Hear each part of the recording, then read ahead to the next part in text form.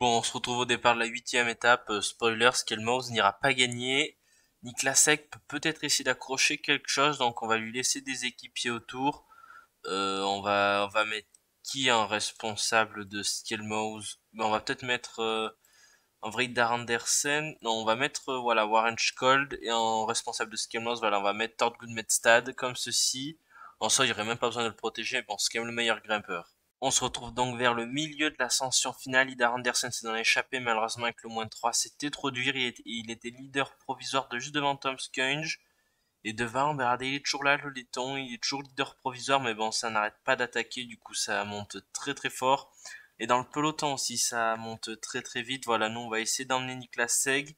Mais bon, ça semble vraiment très compliqué de toute façon pour nous, le général. Et là, mais bon, Skelmos, voilà, il emmène quand même l'équipe malgré le moins 3 il arrive à se muer en équipier. En vrai, je sais même pas si on s'accroche vraiment pour le top 10 ou alors si on regarde juste les favoris s'affronter. Parce que, ouais, là, c'est clairement... Ouais, je sais pas si c'est du gâchis ou quoi, mais bon. On voudrait mieux peut-être mettre l'énergie ailleurs, mais bon, là, il n'y a pas le choix. Il y a quand même un top 10 au général, c'est pas rien sur un grand tour. Donc voilà, on va quand même le défendre. Il y a des Wood Van Aert qui craquent et tout. Donc je pense qu'on fait quand même une très très bonne ascension. Mais bon, voilà, Niklas Segm est clairement un temps en dessous. Et en plus, ça attaque. Ah, ça attaque en plus vraiment très très fort. Hein. Donc voilà, je sais pas si on va pouvoir tenir ce rythme. Allez, hop, voilà, Anton Charing qui va venir le protéger. Et Thorsten Train qui va essayer de rester... Ah. Ouais, et oh, qu'est-ce que t'as fait là? Tu vas essayer de rester dans la roue, voilà, comme ceci. Niklas Seg va monter à son rythme. Ouais, malheureusement, ouais, voilà, c'est totalement effondré. On n'est pas le seul à des Simon Yates qui est en train de craquer. Jane Lee Miguel Angel Lopez qui remonte à son rythme et devant c'est la victoire de Hugo Hull, le Canadien qui s'impose ici au Monte Terminillo. C'était clairement pas le meilleur grimpeur, il s'impose devant Lorenzo Fortunato et Chris Hamilton.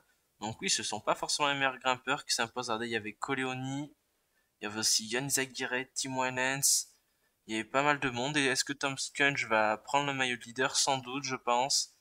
Bon voilà, nous on va les laisser monter à leur rythme. Voilà, comme ceci, on va bien voir de toute façon où en sont les leaders.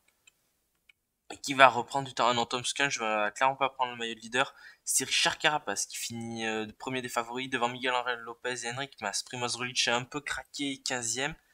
Adam Yates va terminer avec Diego Camargo qui doit échapper, tout comme Jonathan Caicedo à plus de 5 minutes du vainqueur. Donc oui, il y a eu déjà de gros écarts. Jainley s'est totalement effondré mais surtout la grosse perte de temps est signée ici Simon Yates. Regardez, on n'est pas très très loin en soi.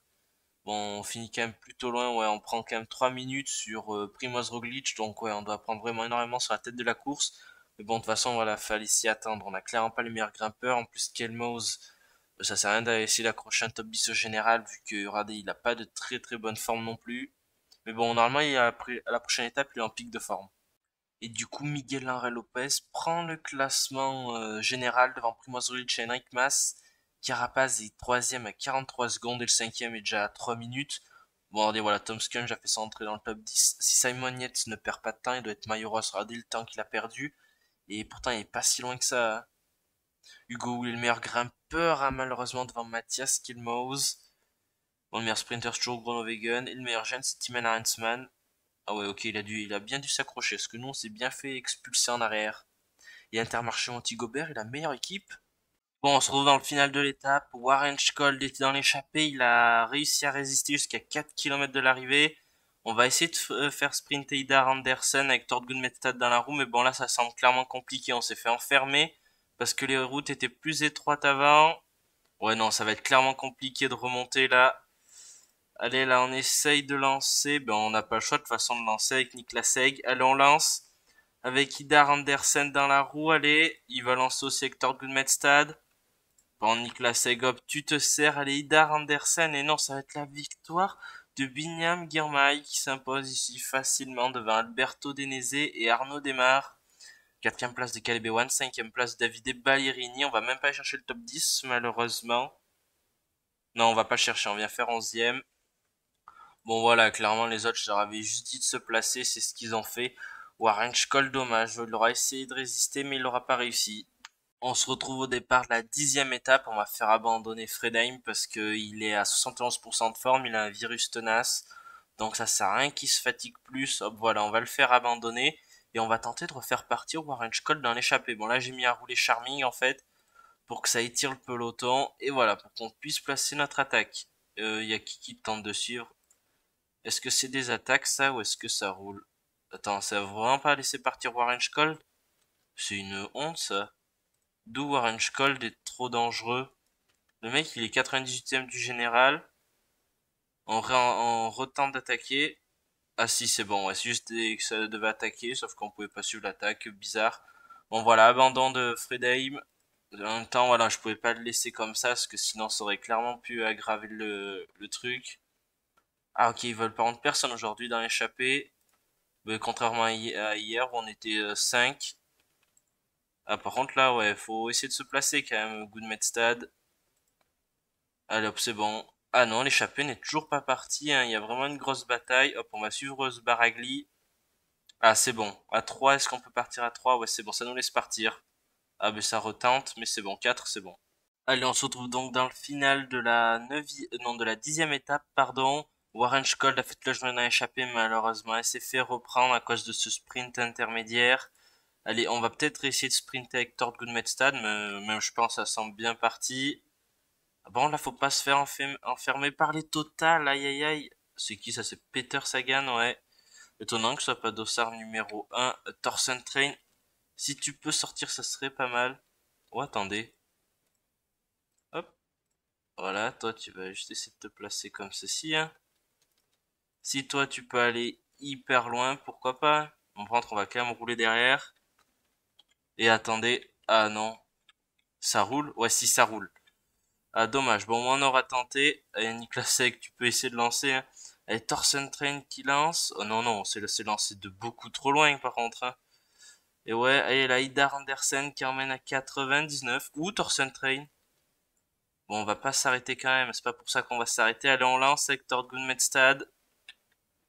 Aïe, aïe, aïe. Oh non, le virage qui va faire gagner le Total Énergie.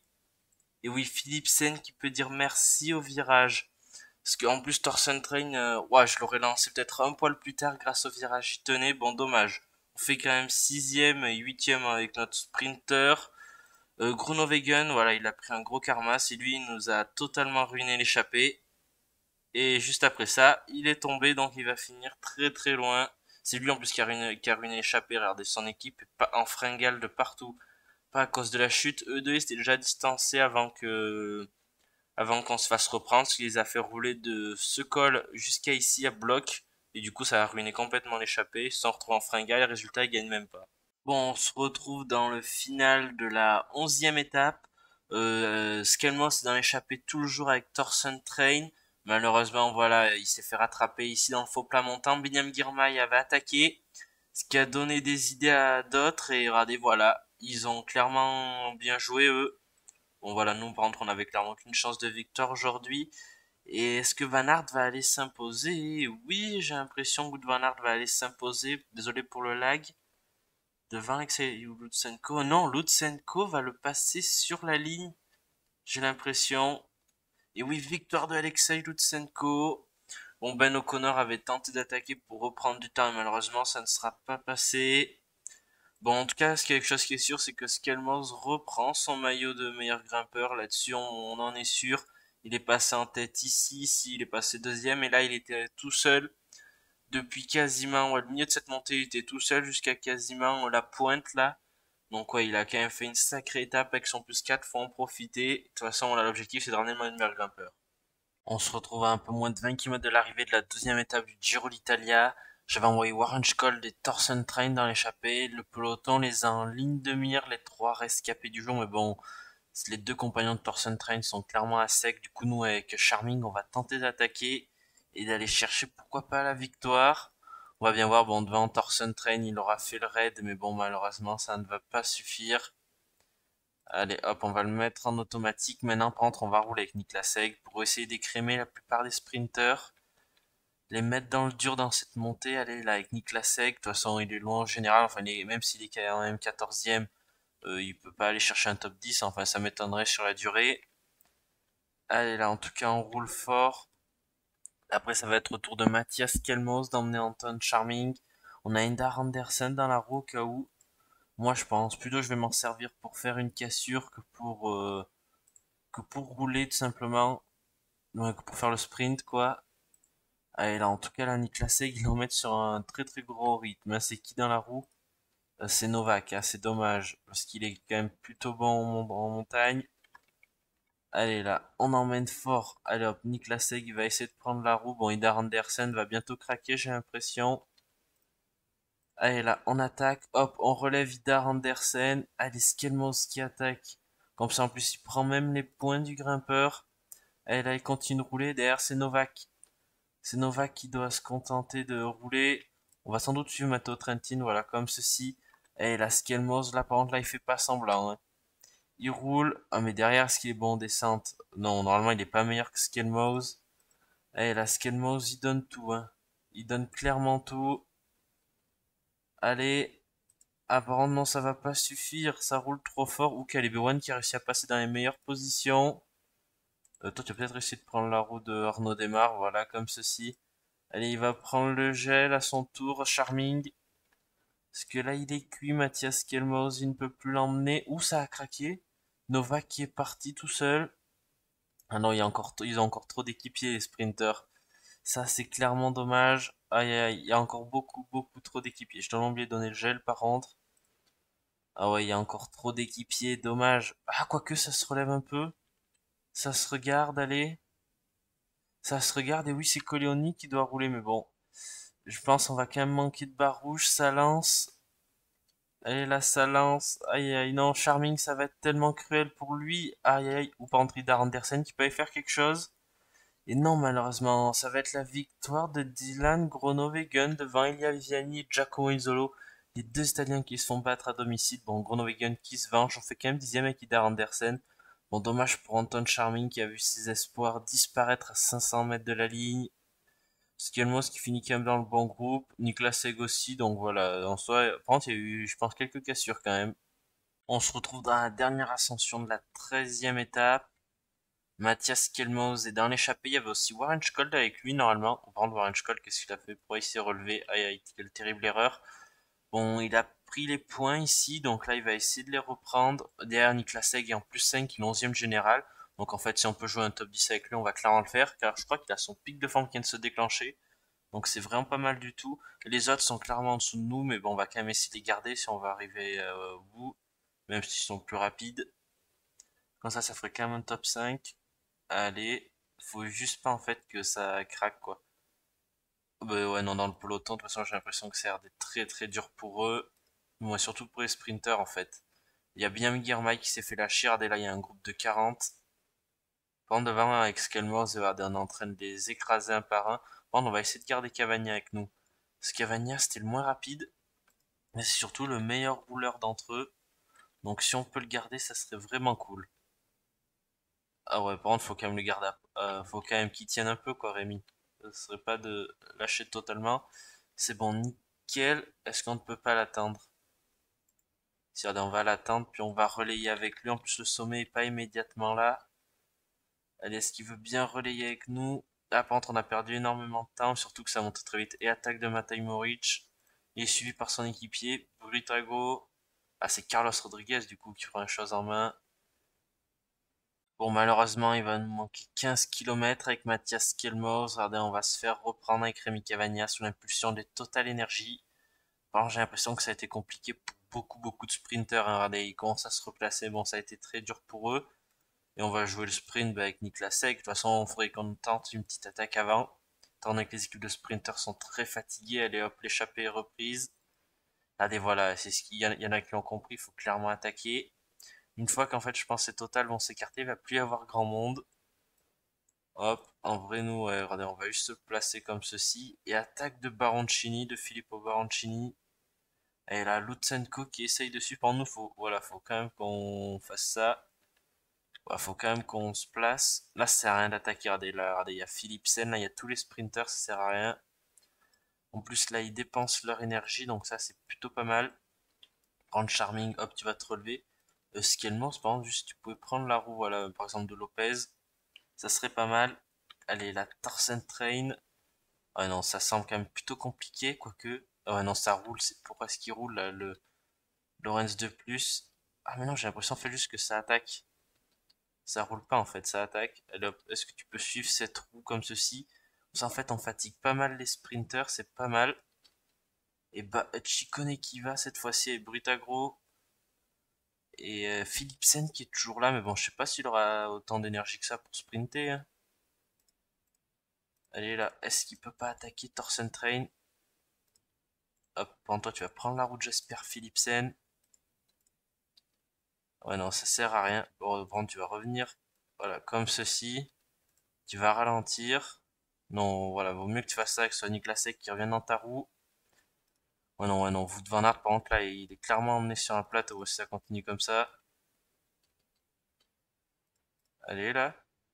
Euh, je sais pas trop quoi faire en soi. Hein, parce que là, on a avancé qu'au sprint, on se fait clairement allumer. Et Caleb Ewan qui avait réussi à passer, qui va sans doute, ah non, et non, victoire de Wood Van devant Arnaud démarre. Et nous avec Niklas Seg, on va venir faire un top 10, hein, j'ai l'impression. Et ouais, on vient faire un 9 ce qui est vraiment pas mal du tout. On sera dans fini par exemple devant Dylan Groenewegen. Par contre, Esquielmoz a totalement explosé. Ah, vous avez été déconnecté, ok. Et ouais, bon, l'étape a été quand même plutôt dure. On aura tout tenté, mais bon, malheureusement, ça ne sera pas passé. Bon, on se retrouve dans l'ascension du Monte Grappa sur la 14e étape du Giro d'Italia et nous on tente d'attaquer pour aller chercher la victoire. Regardez, ça s'en fout complètement de nous. Devant, il y a Thorsten Train qui est avec Rémi Cavagna, Baroncini, Peters et Yann Zaguirre qui est en fringale. Michael Scherel vient de craquer.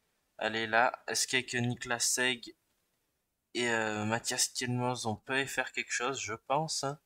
Regardez, on va mettre les deux, voilà, à peu près au même niveau pour qu'ils se relayent dans cette ascension. Et devant, ben, Thorsten Train, euh, il a l'air vraiment très très fort. Aussi, c'est surtout pour prendre la montagne avec Skelmose. Et vu sa forme du jour, je pouvais pas me permettre de, voilà, de rien faire. Et euh, voilà, du coup, on va juste se reposer comme ça avec Thorsten Train. On va attendre que les deux autres arrivent. Et en plus, si peut reprendre du temps en général, ce serait pas mal. En plus, Guzon, le dixième, est en train de craquer. Par contre, faudrait peut-être faire ça, voilà, comme ceci. Ah, ça accélère malheureusement devant. Mais bon, j'ai l'impression que ça accélère quand même très très tôt. Hein. On va peut-être... Ah, ben regardez, voilà, ça craque d'abord pour Rémi Cavagna d'ailleurs. Hop. Allez, la Skelmons qui remonte. Oh, par contre, Skelmons a l'air d'être vraiment très très fort. Hein.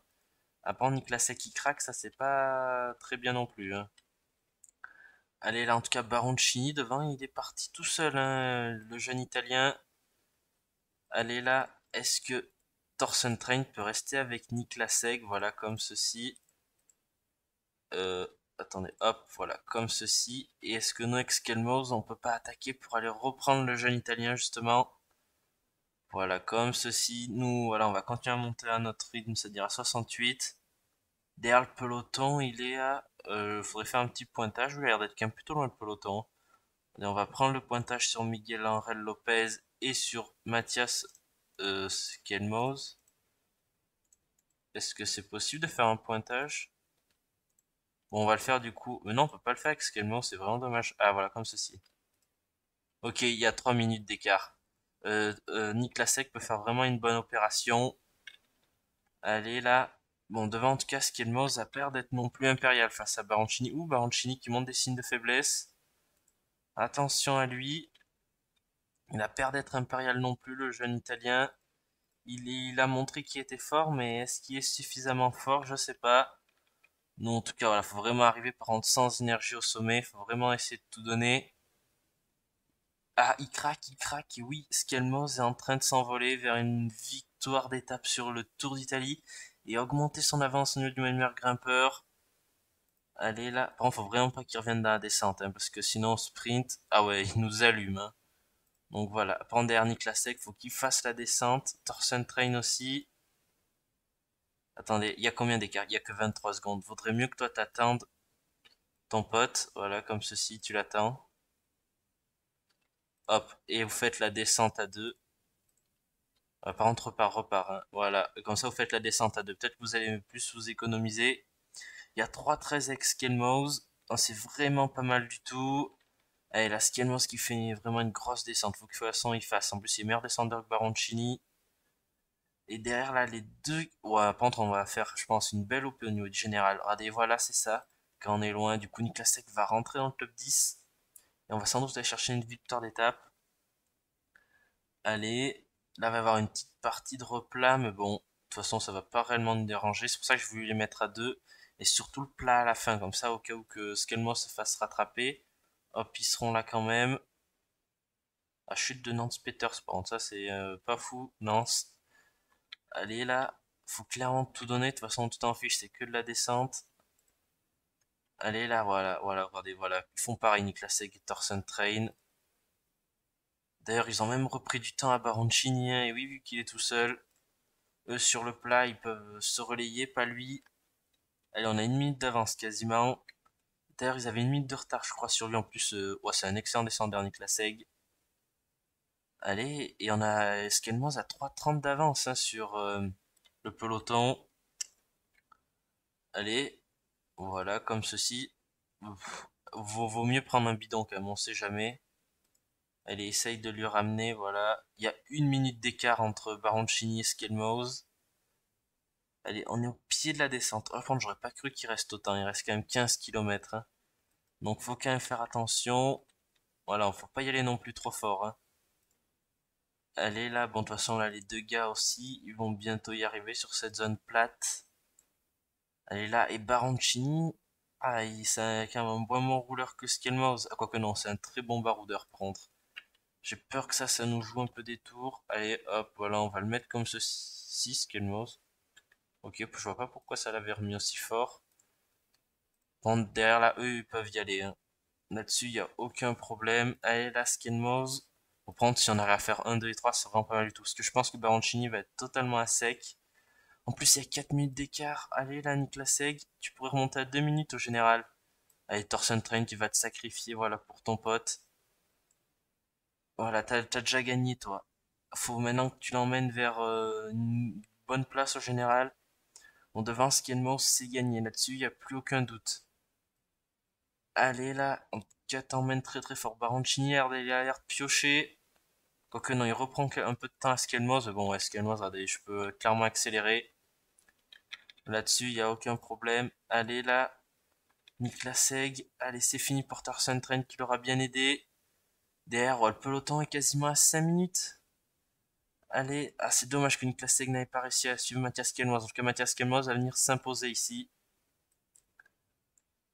Allez là, on va clairement la savourer cette victoire. Deuxième victoire d'étape ici pour la Inox sur ce Giro d'Italia 2023 si je me trompe pas.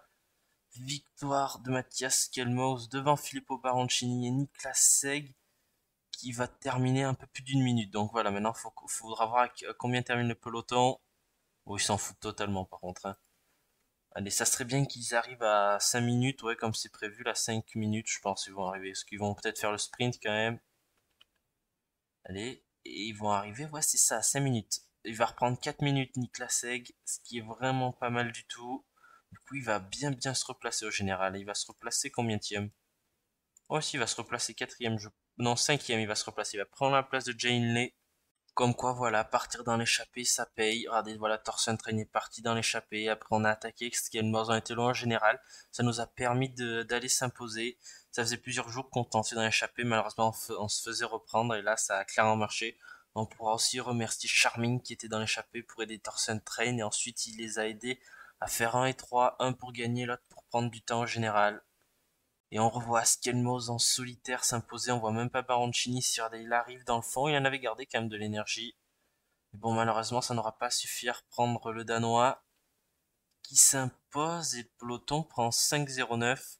Et Seg, ah, il prend que 45 secondes. Oh, il est compté dans le temps de Baroncini. Oh, ça, qu'est-ce que c'est magnifique. Du coup, il reprend pas mal de temps. Seg se replace 5ème, voilà, de 24. Ce qui est vraiment pas mal du tout. Mathias Kielmos, bon là, est incontestablement le meilleur grimpeur. Hein. il y a même Thorsten Train qui s'est replacé aujourd'hui. Baroncini qui a pris seulement 18 points au sommet. Jan Groenewegen qui est le meilleur sprinter. Ouais, bon, nous, on a Thorsten Train qui est là quand même à 91. Et le meilleur jeune, on s'est replacé, hein. attention, bon attention, on est quand même à 9 minutes, mais regardez, rien qu'aujourd'hui, on a repris 5 euh, minutes. Et la X est la meilleure équipe ah, c'est-à-dire qu'on s'est bien bien replacé au général. Ça, j'y avais pas pensé. Bon, attention, général. Ben non, c'est Egg surtout qui s'est replacé, les autres ils sont loin. Ah ok, ça veut dire quoi, il doit y avoir vraiment de gros gros écarts hein, pour que la Barine Victory soit deuxième meilleure équipe. Mais vraiment, ouais, la grosse surprise de ce début de ce Giro, on termine vraiment très très bien cette deuxième semaine. Bon, du coup, dans la prochaine vidéo, il y aura l'arrivée au Montezon de Colan, certainement échappé, qui va s'imposer, donc faut certainement envoyer Skelmose.